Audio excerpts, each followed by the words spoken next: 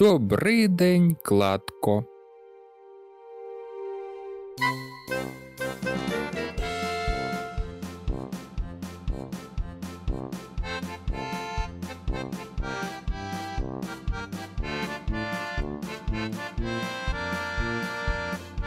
В одного у дівця була дочка.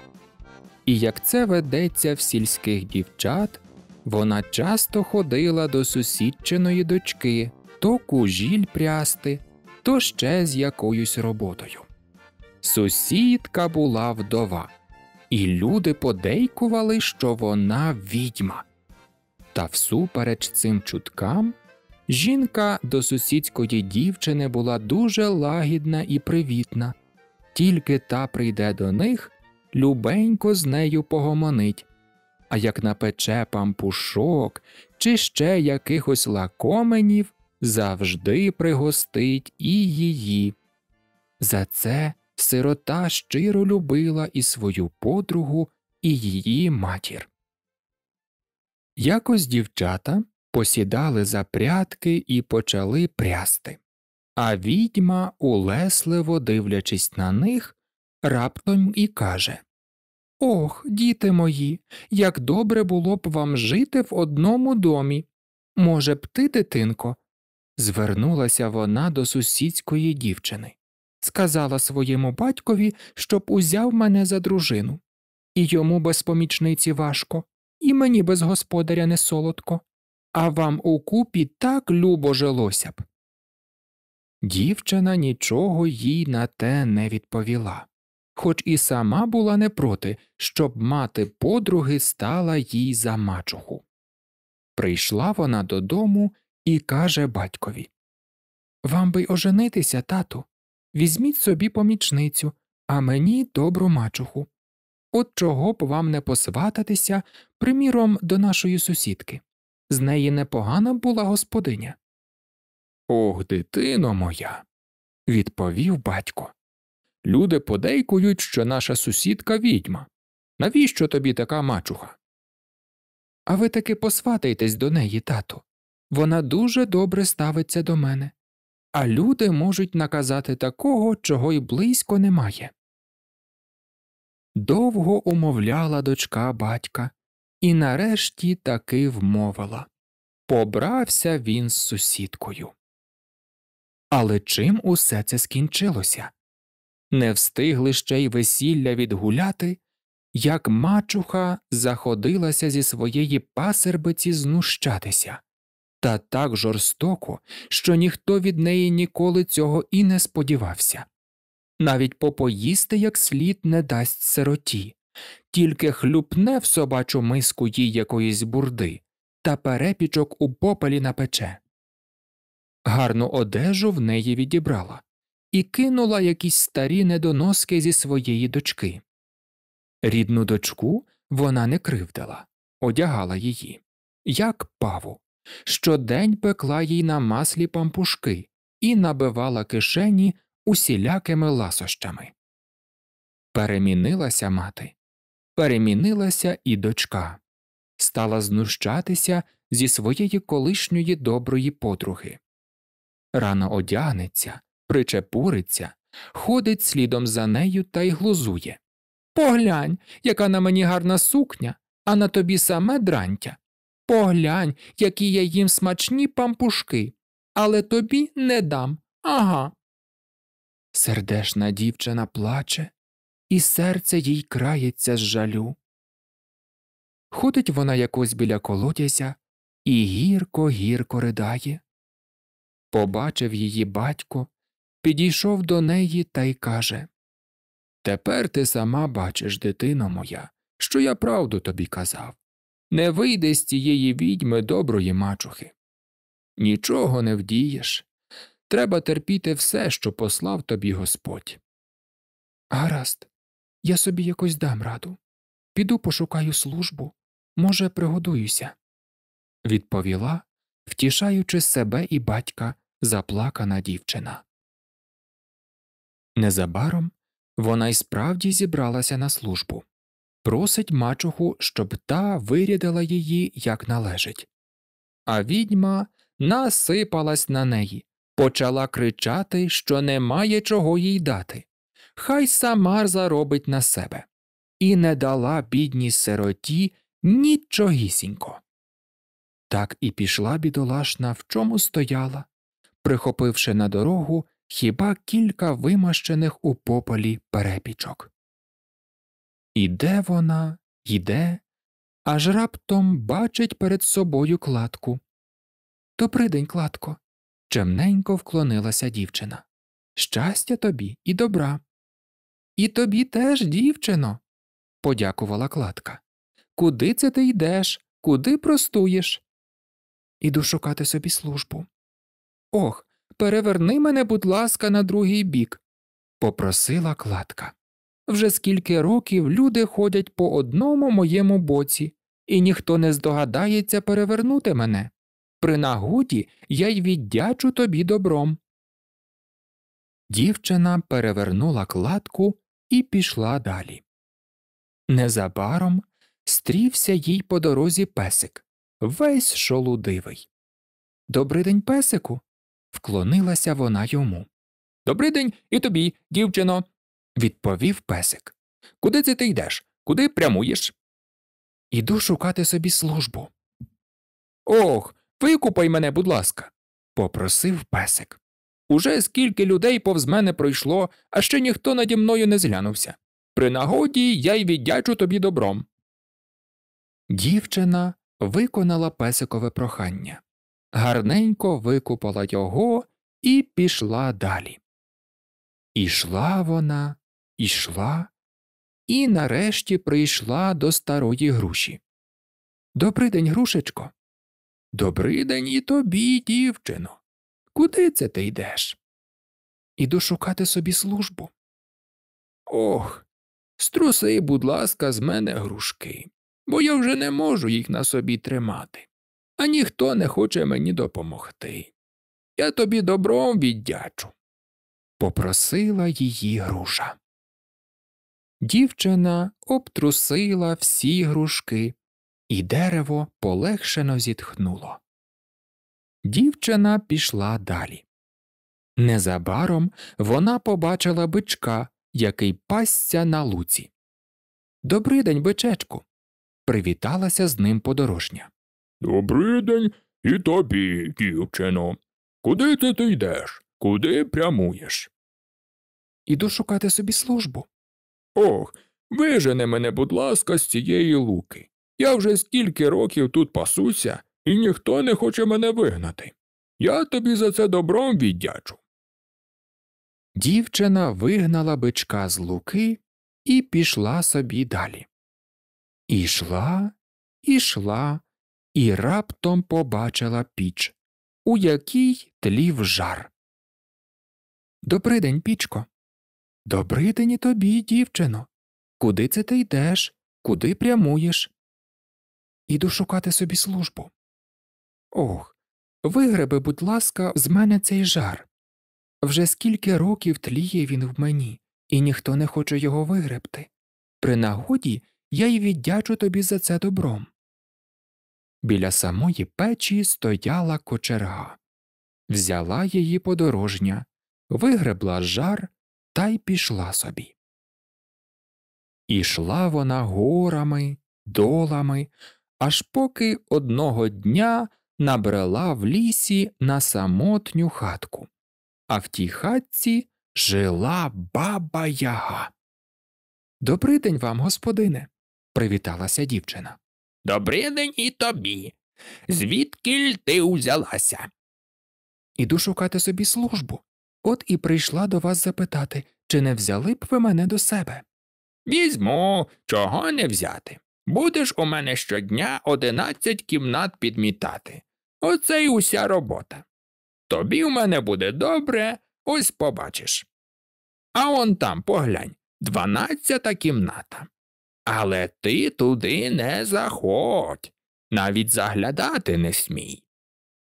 Як велите, так я й робитиму, відповіла дівчина.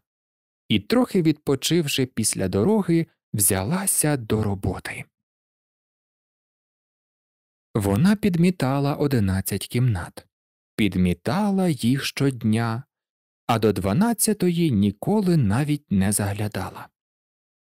Якось баба Яга пішла кудись із дому, а дівчина заходилася підмітати кімнати.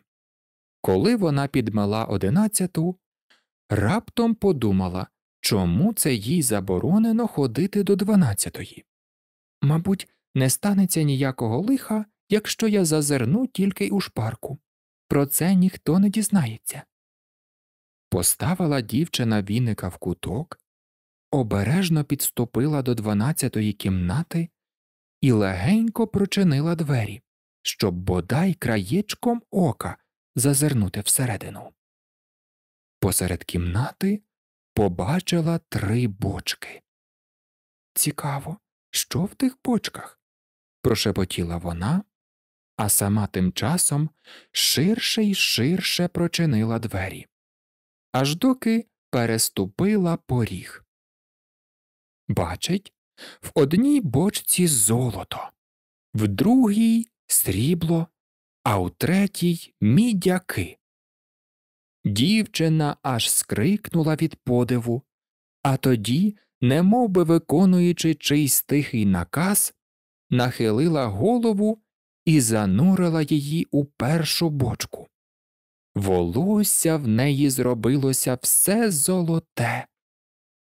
Тоді вона занурила туди руки й ноги, занурила і раптом злякалася, що скаже баба Яга, коли повернеться. Злякалася і вирішила, що далі їй тут лишатися не можна.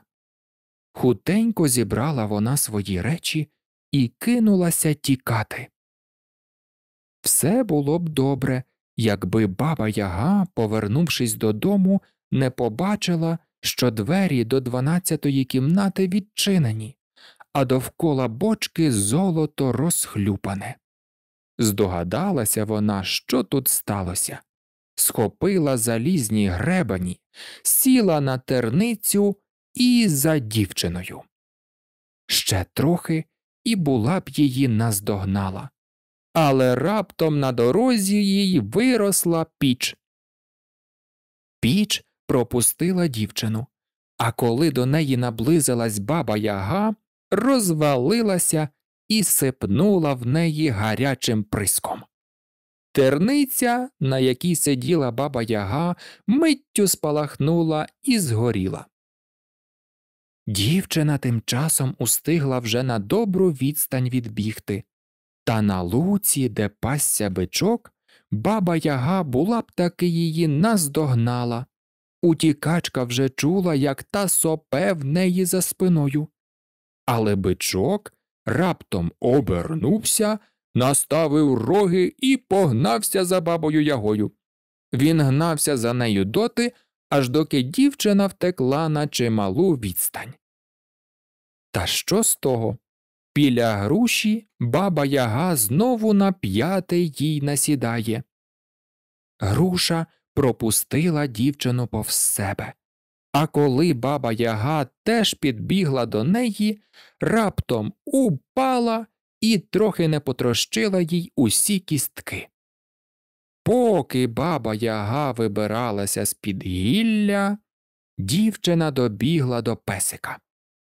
Але що для баби яги така відстань?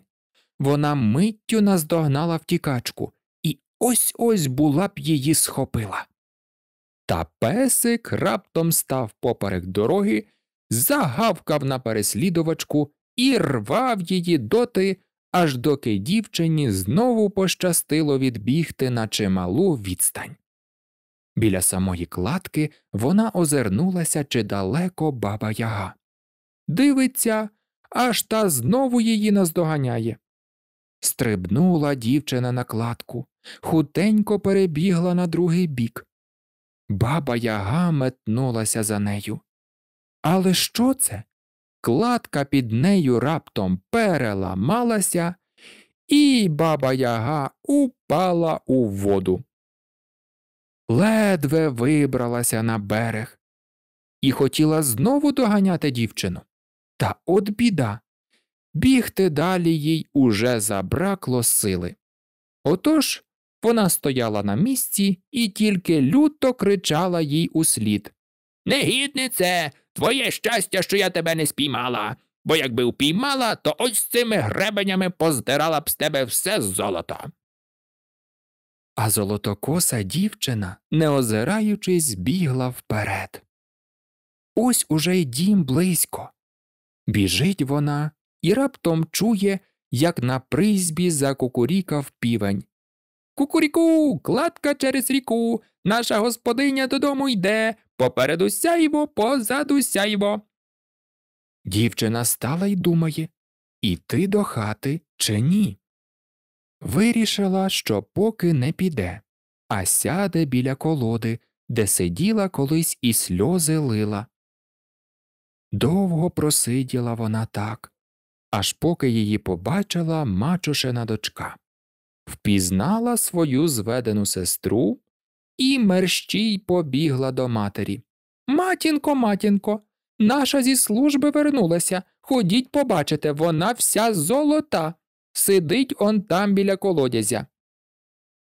Мачуха притьом вибігла з хати, і коли побачила, що дочка правду сказала, почала до пасербиці підлещуватись, до хати запрошувати, щоб якнайшвидше вивідати, де це вона так озолотилася, щоб і свою дочку туди ж послати.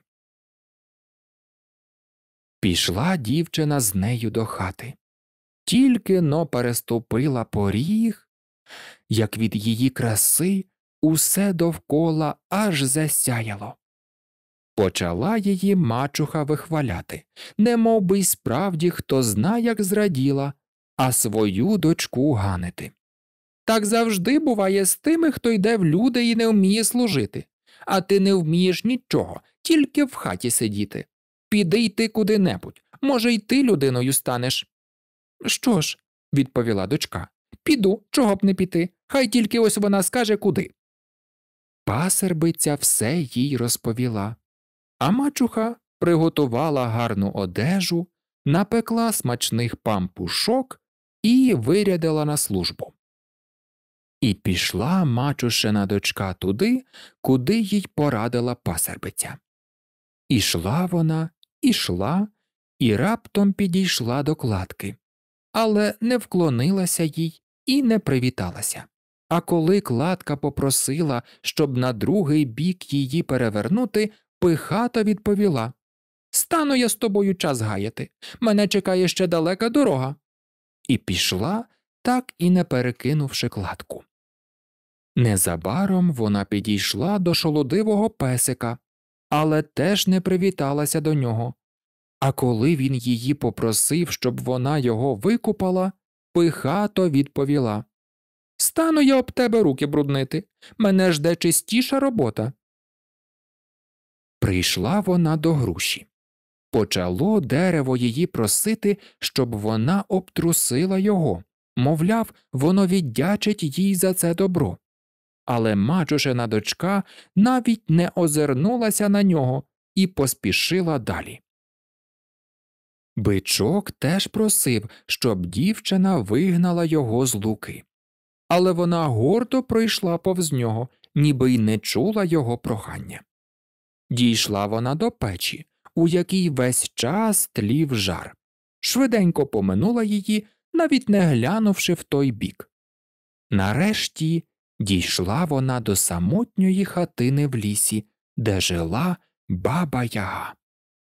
Добрий день, господине. Привіталася вона до старої. Добрий день і тобі, відповіла та. І як ти сюди попала, і звідки ля тут узялася? Я прийшла запитати, чи не взяли б ви мене на службу. Чого ж не взяти? Візьму, адже я тут живу одна. Підмітатиме щодня ці одинадцять кімнат, але он до тієї, дванадцятої, не смій навіть носа поткнути, інакше буде лихо. Добре, господине, добре, я робитиму тільки те, що ви накажете, відповіла дівчина і залишилася у баби. Багато днів підмітала вона одинадцять кімнат, аж поки одного разу не закортіло їй зазирнути до дванадцятої. Довго чекала вона слушної нагоди, коли баба Яга піде з дому. Нарешті одного дня така нагода трапилася. Стара кудись пішла. Дівчина мерщій кинула віника і метнулася до дверей дванадцятої кімнати. Відчинила їх, зайшла всередину і бачить, стоять три бочки в одній мідяки, в другій срібло, в третій золото. Як побачила вона золото, відразу ж ускочила в нього, вся викупалася, хоч візьми і викрути. Потім вискочила і ну тікати. Повернулася баба Яга додому. Бачить, кімнати не підметані, а по підлозі розлито золото. Ну, постривай, я тобі зараз покажу. Відхочеться тобі цього золота. вигукнула вона, схопила семимильні чоботи, швидко натягла їх на ноги, в руки взяла залізний гребінь і гайда за дівчиною. А та тим часом добігла вже до печі, у якій весь час тлів жар, але піч раптом розвалилася і бризнула в неї таким палючим вогнем, що на дівчині аж золото почало топитися. Ледь урятувалася від цієї біди, а на неї вже друга чатує. Бичок, що пасся на лузі, не захотів її пропустити, і доти ганяв, аж доки добігла баба яга. Чеснула вона дівчину залізним гребенем і посипалося з неї золото. Баба Яга нахилилася, щоб позбирати його з землі, а дівчина тим часом знову кинулася навтіки.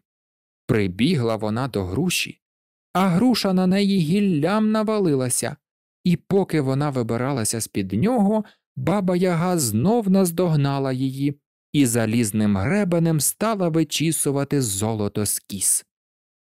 Поки стара збирала його з землі, дівчина налягла на ноги і добігла до песика. Але той почав гавкати, кидався на неї і не захотів пропустити далі, аж поки надбігла баба яга.